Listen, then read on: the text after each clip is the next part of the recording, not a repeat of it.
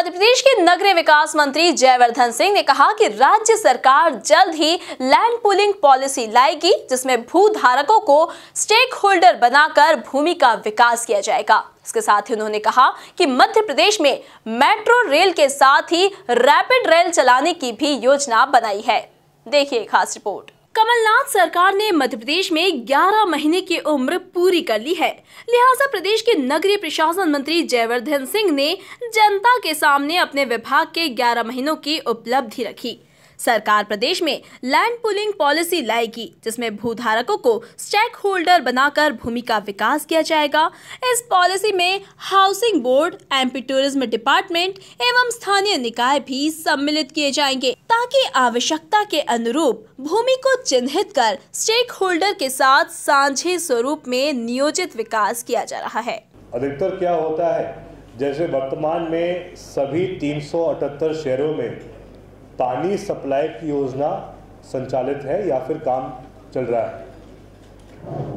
लेकिन जब हम बात करेंगे सूरज लाइन की तो सिर्फ़ पचपन या साठ शहर हैं जिनमें काम चल रहा है सूरज का।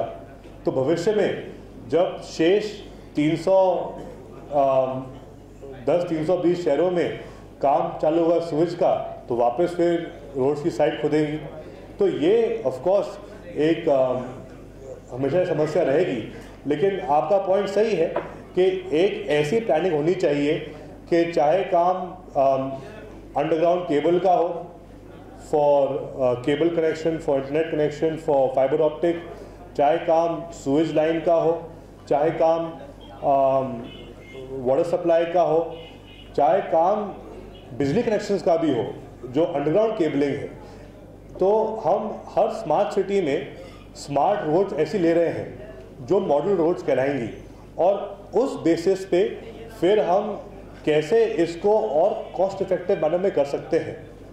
क्योंकि अगर आप देखें तो अगर पूरे शहर को हम, कि हम वायरिंग और इलेक्ट्रिसिटी हम अंडरग्राउंड केबलिंग करें दैट्स वेरी एक्सपेंसिव लेकिन अगर स्मार्ट रोड्स में हम इसको अभी से चालू करें तो हमको फिर एक आइडिया होगा कि इसको अगर हमको पूरे शहर में लागू करना है तो उसमें हम क्या इकोनॉमिक ऑफ़ स्केल ला सकते हैं तो इसकी हम अब टेस्ट आउट करेंगे। मध्य प्रदेश में मेट्रो रेल के साथ ही रैपिड रेल चलाने की योजना बनाई जा रही है। मेट्रो रेल की तुलना में रैपिड रेल अधिक तेज चलती है।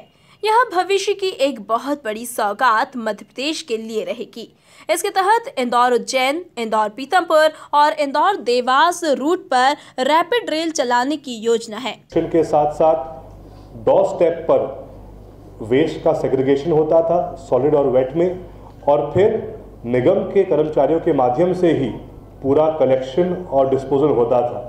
ये मॉडल सफल हुआ था, जिसके कारण इंदौर को पूरे देश में प्रथम स्थान प्राप्त हुआ था।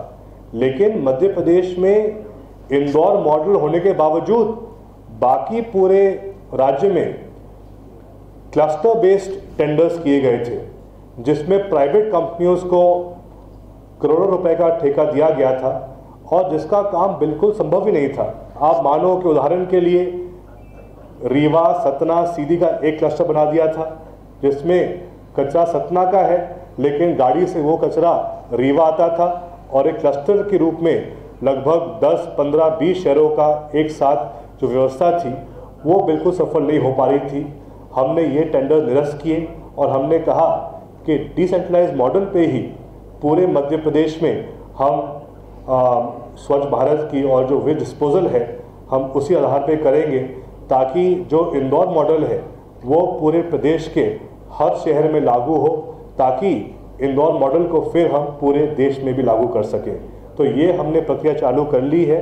इस सिंह ने बताया कि मध्य प्रदेश के शहरों में 350 इलेक्ट्रिक बसें चलाई जाएँगी तथा चरणबद्ध तरीके से धीरे धीरे सार्वजनिक परिवहन से डीजल से चलने वाली बसों को हटाया जाएगा। 40 इलेक्ट्रिक बसें इंदौर में चालू कर दी गई हैं और जल्द ही यह भोपाल, ग्वालियर और उज्जैन में भी चलने लगेंगी। Bureau report MP news Bhopal